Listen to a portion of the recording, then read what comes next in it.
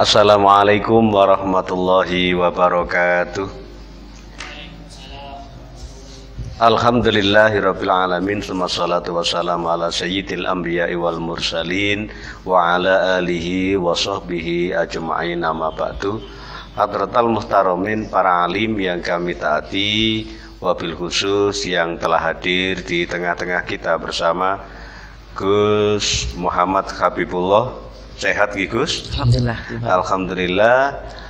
Eh, para pemirsa NUTV Turen yang dirahmati Allah, kaum muslimin muslimat, nahdiin nahdiyat, kami dari NU TV Turen mengucapkan selamat menunaikan ibadah puasa mudah-mudahan bisa mengantarkan kita bersama untuk menjadi orang-orang yang uh, takwa kepada Allah Subhanahu wa taala. Amin ya rabbal alamin.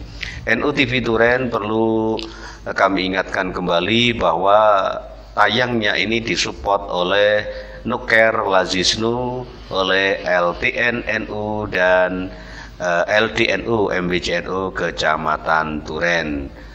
Karena NU TV Turen ditayangkan melalui channel YouTube, mohon kaum muslimin muslimat para pemirsa sekalian untuk tidak lupa subscribe-nya ya. Uh, hadirin uh, para pemirsa yang dirahmati Allah kita sudah mengenal begitu banyak eh, wali-wali Allah, para kekasih Allah, utamanya adalah Wali Songo, kemudian juga yang ada di Jawa Timur ada banyak juga yang sering diziarahi dengan uh, program ziarah wali lima juga ada. Uh, namun demikian mungkin kita juga tidak tahu apa sih syaratnya jadi wali itu. Nah pada kesempatan kali ini Al Mukarram Gus Habibullah akan menyampaikan uh, materi tentang syarat-syarat wali agar para pemirsa tahu uh, bagaimana syaratnya wali Allah itu. Dumateng Gus Muhammad Habibullah monggo dipun sumanggaken. Assalamualaikum warahmatullahi wabarakatuh. Waalaikumsalam warahmatullahi wabarakatuh. Bismillahirrahmanirrahim. Alhamdulillahi rabbil alamin. Wassalatu wassalamu ala asyrafil anbiya'i wal mursalin Sayyidina wa maulana Muhammad Allahumma salli Wa ala alihi wa ashabihi ajma'in Amma ba'du Para pemirsa di mana pun berada Alhamdulillah kita bisa berjumpa kembali Kali ini insya Allah kami akan membahas tentang syarat-syarat wali. Kalau nggak salah dulu waktu saya mondok di Lirboyo, Kiai Haji Maksum Jauhari atau yang biasa dipanggil Gus Maksum, Ketua Pakar Nusa seluruh Indonesia, itu sering menyampaikan uh, keterangan yang ada di dalam syarah kitab Kifayatul Awam. Beliau sampai hafal. Ya. Beliau tahu begini, qala yusi naqlan an ba'dil a'immah. Imam Al-Yusi menyampaikan uh, makalah dari sebagian para imam bahwa la yakunu syakhsu waliyan illa bisyurutin arba'atin. Orang itu tidak akan bisa diakui wali kecuali kalau mempunyai syarat empat. Jadi melihat syarat sedemikian banyak ya, walaupun empat ini ya kalau dibanding dengan sepuluh nggak banyak, tapi empat ini berat semua ya. Jadi kalau dilihat dari syarat ini kita jangan gampang-gampang ngaku wali. Kadang-kadang gara-gara kita riyadhah atau tirakat akhirnya doa kita mandi mustajab akhirnya merasa Nggak saya wali. sudah wali lah ini yang nggak boleh ya orang yang mustajab doanya dikabulkan oleh Allah itu belum tentu wali ya iblis saja dikabulkan oleh Allah Iya, iya. ya ketika minta agar dipanjangkan umurnya ya Oke. kan dikabulkan oleh Allah iblis musuhnya Allah dikabulkan oleh Allah jadi yang dikabulkan oleh Allah itu belum tentu walinya Allah makanya beliau ya Haji Masum Jawahari waktu itu ya eh, sering menyampaikan dawu ini mengingat banyak orang yang punya kelebihan, punya kesaktian, akhirnya dianggap wali. Ada orang yang aneh-aneh dianggap Dianggap wali. wali. Akhirnya beliau menyampaikan ini. Yang pertama al awalu ayyakuna arifan bi usuliddin. Yang pertama wali itu harus ngerti betul tentang tauhid. Usuliddin yang di sini yang dimaksud adalah tauhid. Tauhidnya kepada Allah harus betul-betul matang hatta yufarriqu baina al khaliq wal makhluk sehingga bisa membedakan antara mana yang betul-betul Tuhan dan mana jin yang mengaku Tuhan. Kadang-kadang ada orang bertapa di goa, kemudian didatangi suara, ya, saya ini Tuhanmu. Nah, seperti Syekh Abdul Qadir, ya, lah itu kan didatangi oleh iblis. Iblis mengatakan ana robbuk kan begitu ya kan? Nah, Abdul Qadir, aku iki pangeranmu. Halal tu maharom tulaka. Berhubung wis akeh ganjaranmu, ibadahmu wis akeh, wis saiki tak halalno. Sing haram-haram zina kena, ngombe khamar kena. Sebab umpama dosa, sik sosok sik akehan ganjarane. Nah, cara dijawabno ngoten ya. Halal tu maharom tulaka. Loh, ini iblis waktu itu mengaku Allah berupa sinar. Ini kalau orang nggak seperti Syekh Abdul Qadir Jalani, ini insya Allah kepencut ini. Langsung cucu kalau gini iki Gusti sih kalau boleh. kan begitu ya kan? Nah, ini berarti belum wali kalau ada orang dihapusi iblis seperti itu kok langsung sujud syukur belum wali. Belum wali. Nah kalau seperti Abdul Qadir wong waliullah tahu betul ini bukan Allah. Ya, ketika ditanya kan panjenengan kok bisa membedakan itu iblis bukan Allah itu dari mana? Katanya pertama dari bahasanya. Dari bahasanya itu sudah kelihatan. Ana robbuk. Iblis itu mengaku saya Tuhanmu. Iblis tidak berani mengaku anak Allah. Loh begitu. Itu ada rahasianya ternyata. Sebab kalau sampai berani mengatakan anak Allah, insya Allah terbakar. Dulu pernah ada cerita, ada orang punya anak, anaknya diberi nama Allah. Tidak lama disambar beledek mati. Kalau ingin nyoba, monggo. tak jenengno Allah cek aneh cek viral. Ya, kalau nanti disambar beledek ya salah sendiri. Pernah dulu ada cerita nyata ya di kitab kalau nggak salah itu Syarah Alfiyah itu ada itu ya. Di sana ada orang memberi nama anaknya dengan nama Allah tidak lama disambar beledek anaknya mati. Lah iblis juga begitu. Kata Syekh Abdul Qadir Jilani, iblis nggak berani mengatakan anak Allah. Allah. Tanda yang kedua, lah kok ono pangeran haram tu mahalal, Nah, oke. halal tu maharam tu laka. Menghalalkan ha- yang ha yang haram. Mosok pangeran murui elek gampangane ngoten. Gak mungkin. Akhirnya disentak oleh Syekh Abdul Qadir, ternyata ya ngaku sendiri. Selamat kondir, padahal aku wis nyelamet, wis menyesatkan wong sewu sing kaya awakmu. Lah ngoten ya. Oke. Wong ahli ibadah tapi kurang ilmu. Ini kadang-kadang disesatkan oleh iblis.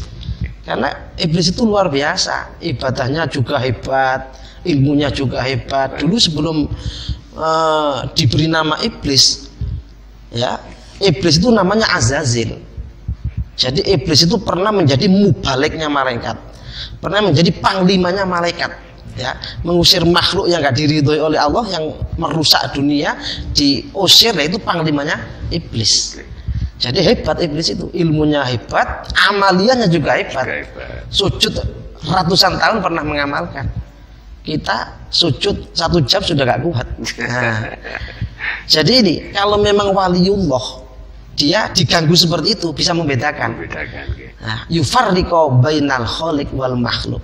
Jadi bisa membedakan antara yang betul-betul Tuhan dan makhluk jin-jin yang mengaku, yang mengaku Tuhan. Itu bisa membedakan. Wa bainan nabi wal mutanabbi. Bisa membedakan antara nabi betul dan jin-jin yang ngaku nabi.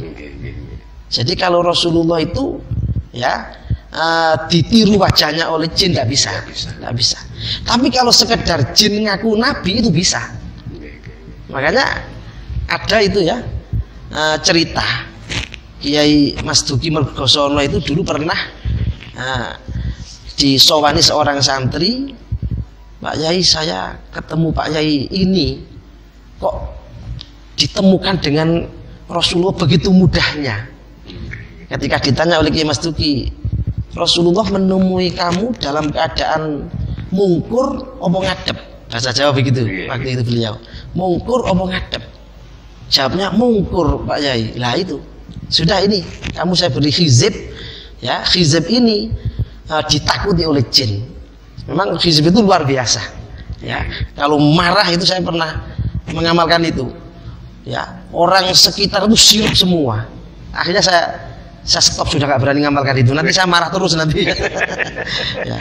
marahnya menakutkan. Menakutkan. Orang itu seperti kecil gitu ya.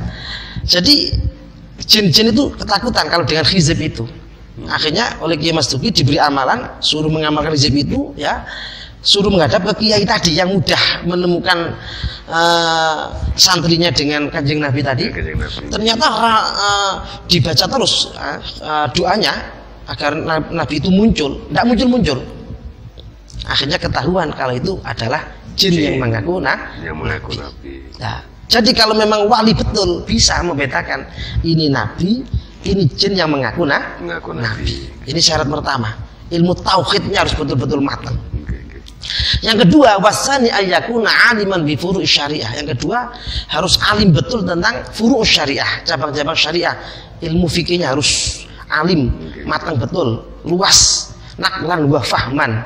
Baik secara nakli maupun secara fahmi harus faham betul.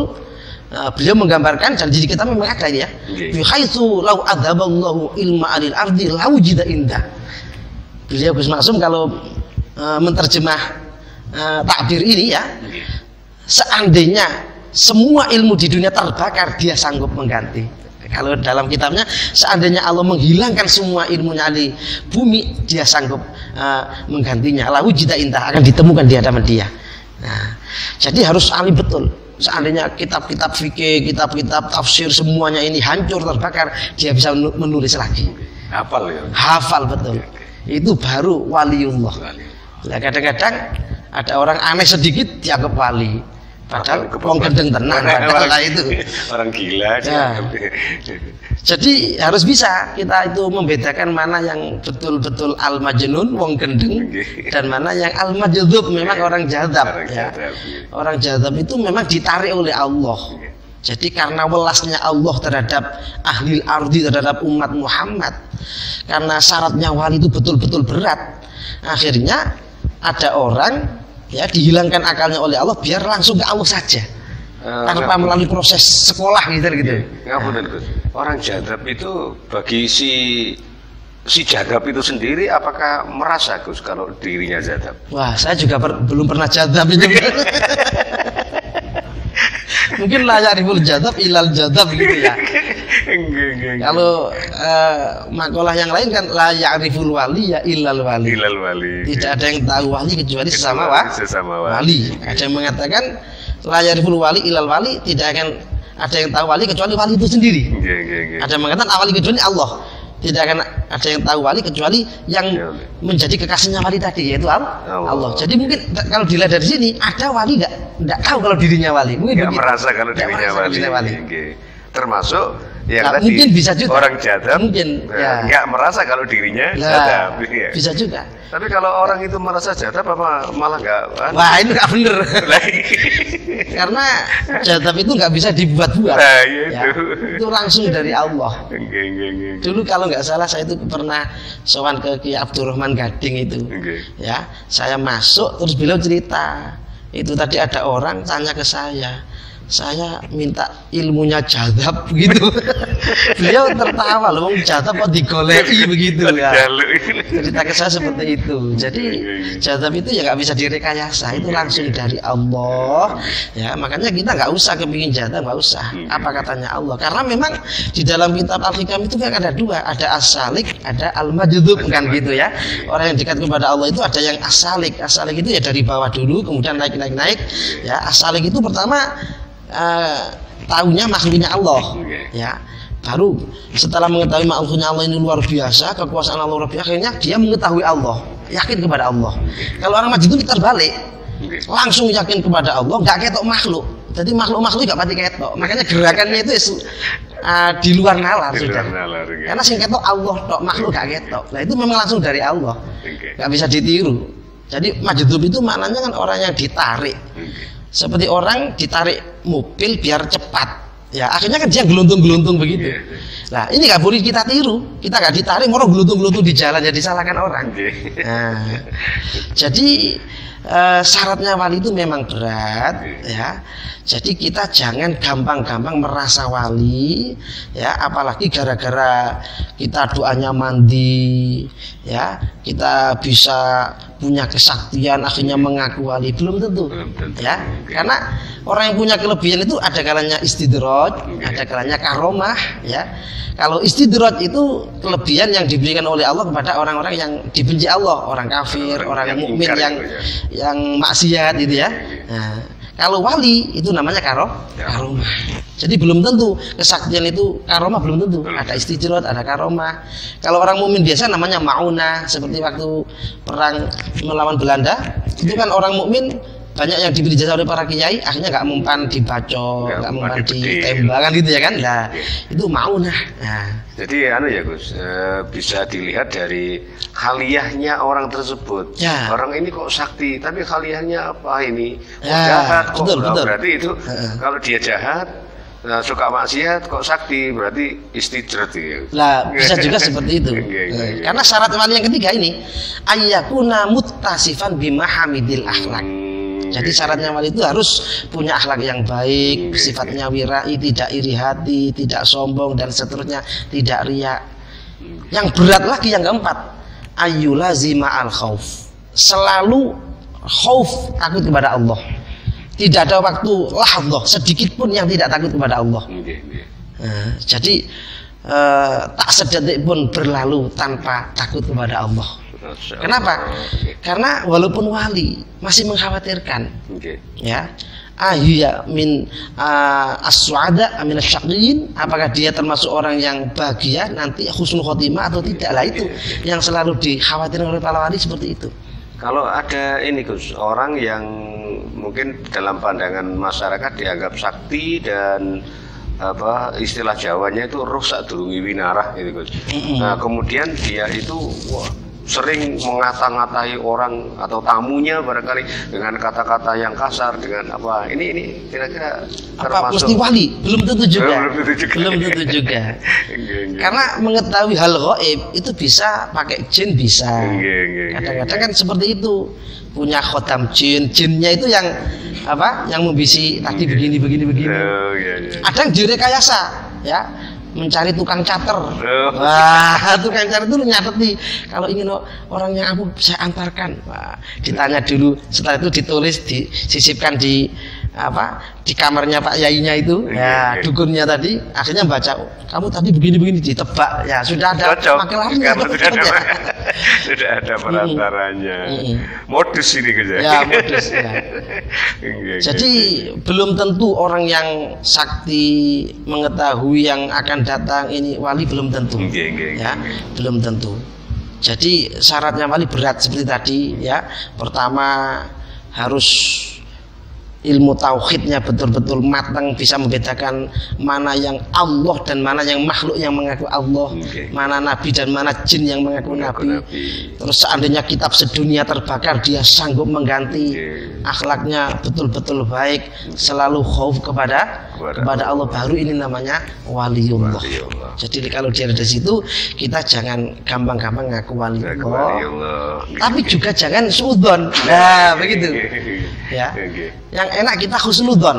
Oke. Sebab begini, walinya Allah itu memang disembunyikan oleh Allah. Betul betul. oke. Jadi eh, lebih lebih samar daripada kekuasaan Allah. Jadi kalau kekuasaan Allah memang ditampakkan oleh Allah, tapi kalau walinya Allah ini memang ditam apa disembunyikan oleh Allah. Nah, begitu. Kadang-kadang kalau konangan itu malah ingin meninggal. Nah, begitu.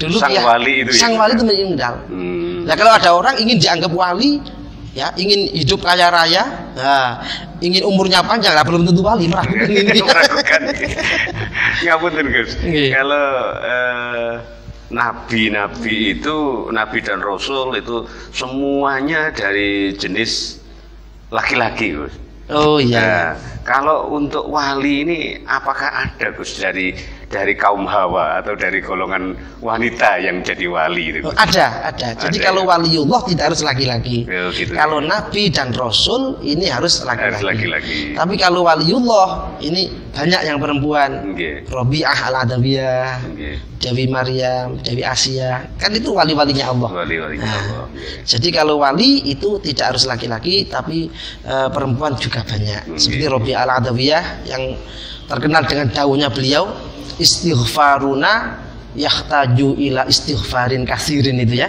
Istighfar kita ini butuh diistighfari lagi. Lalu kita istighfar astagfirullahaladzim, astagfirullahaladzim. Ketoi astagfirullahaladzim, hatinya belakrak. Oh, iya. ini berarti istighfar kita perlu diistighfari lagi. Itu daunnya Robiah al-Adawiyah, Masya Allah. waliullah yang perempuan. Nah. Jadi ada ya Gus ya. Mm-mm. Mungkin ada selain eh, wali anu ini adawiyah nih Gus.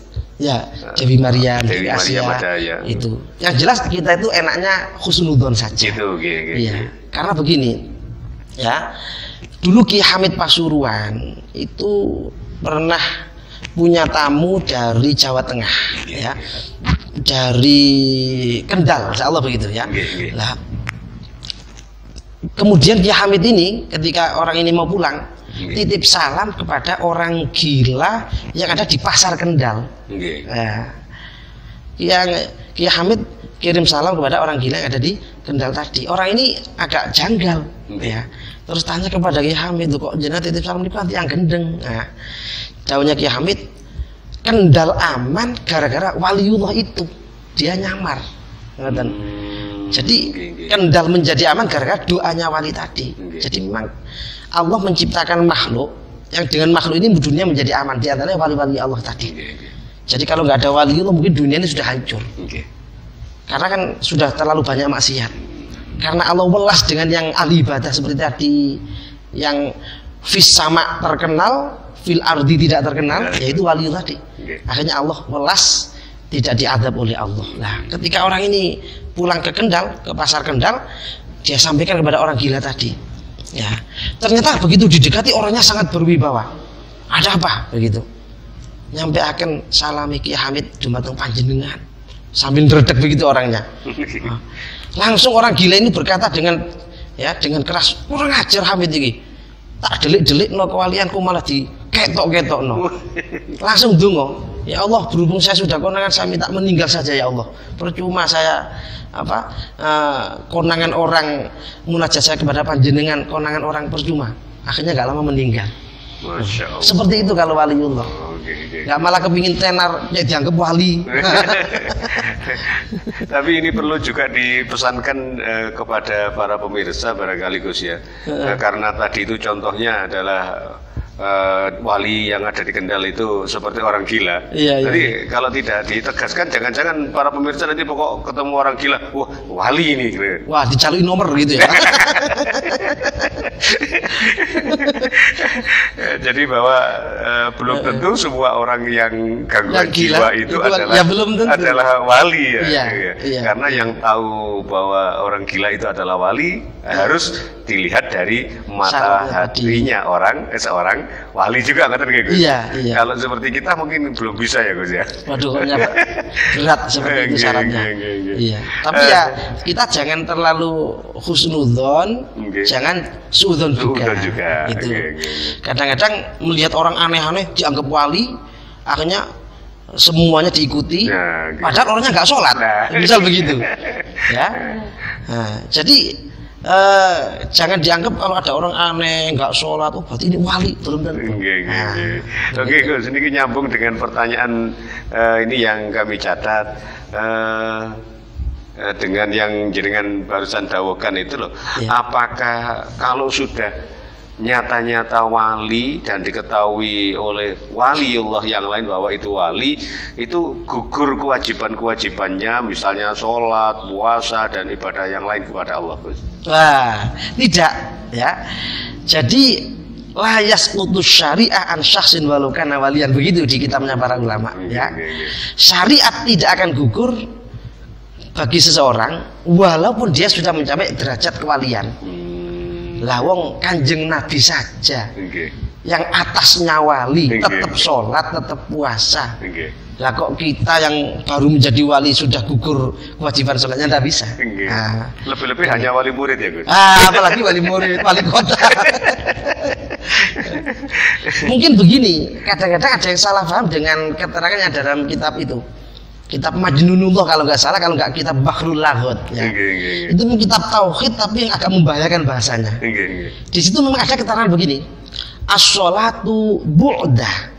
Sekilas maknanya, as-sholatu bu'dah itu sholat itu menjauhkan dari Allah nggih.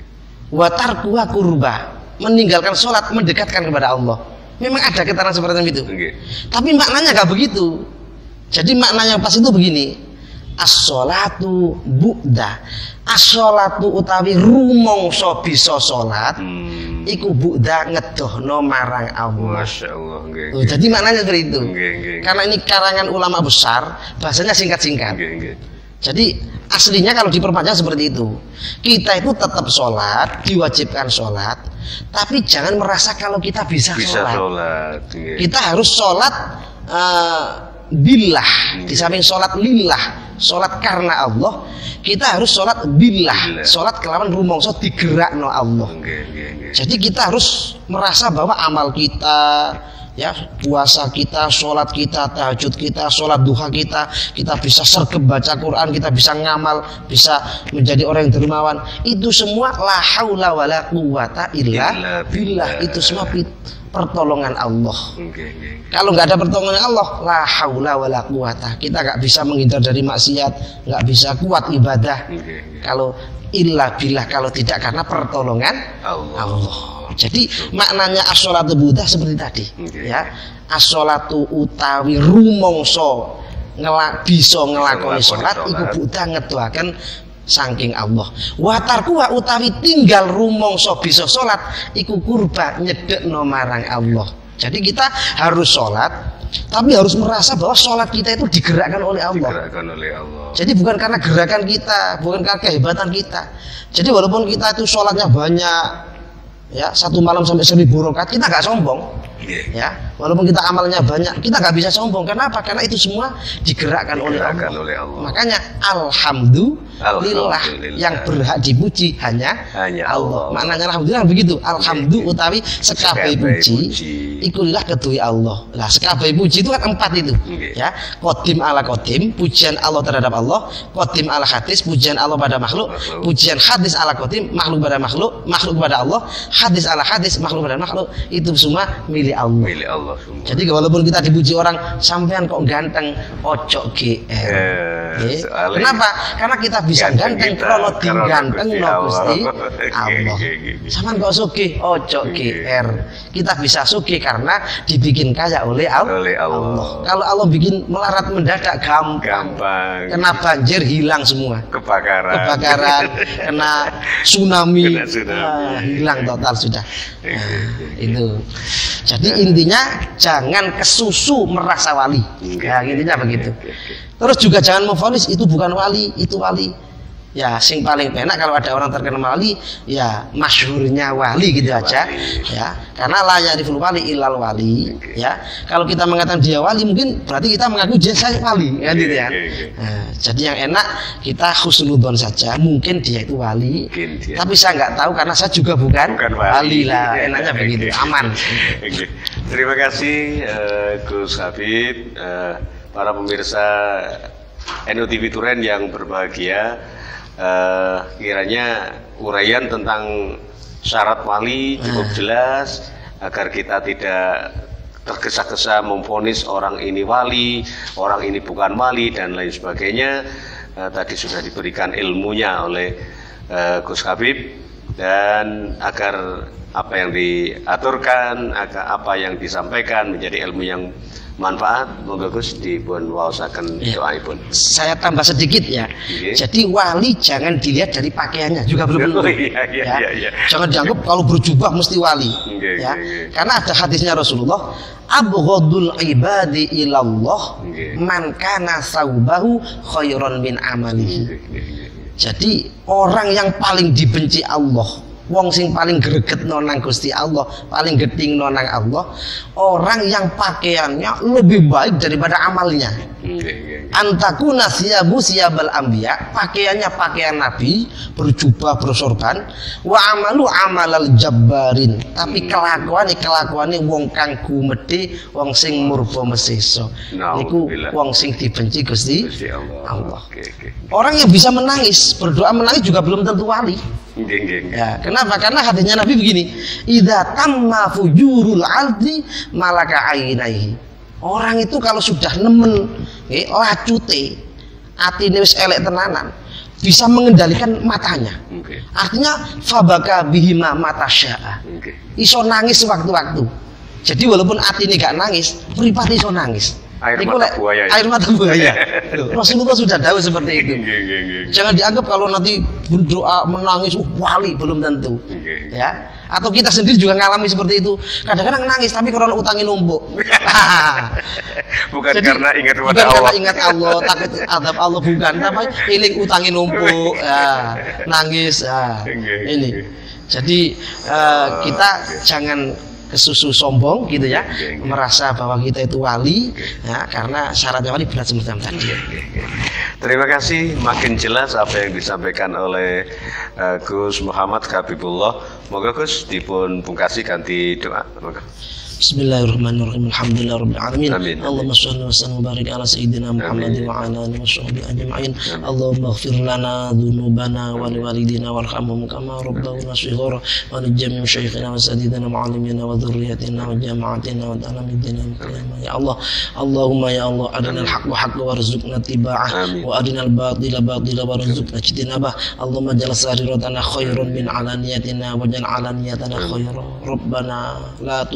قلوبنا بعد إذا ديتنا وبرنا من لدنك رحمة. إنك أنت الوهاب. ربنا آتنا في الدنيا حسنة وفي الآخرة حسنة وقنا عذاب النار. وأدخلنا الجنة مع الأبرار يا عزيز الغفار. وصلى الله على سيدنا محمد النبي الأمي وعلى آله وصحبه بارك وسلم. سبحان ربك رب العزة عما يصفون وسلام على المرسلين الحمد لله رب العالمين. الفاتحة. أعوذ بالله من الشيطان الرجيم. بسم الله الرحمن الرحيم. Akhir kalam Assalamualaikum warahmatullahi wabarakatuh. Waalaikumsalam warahmatullahi wabarakatuh. Para pemirsa NOTV Turen yang dirahmati Allah, sekian dan demikian yang bisa kami haturkan. Kurang dan lebihnya mohon untuk dimaafkan. Tuku Turin nang warungi Yu Jainab NU TV Turen memang mantap. Wassalamualaikum warahmatullahi wabarakatuh.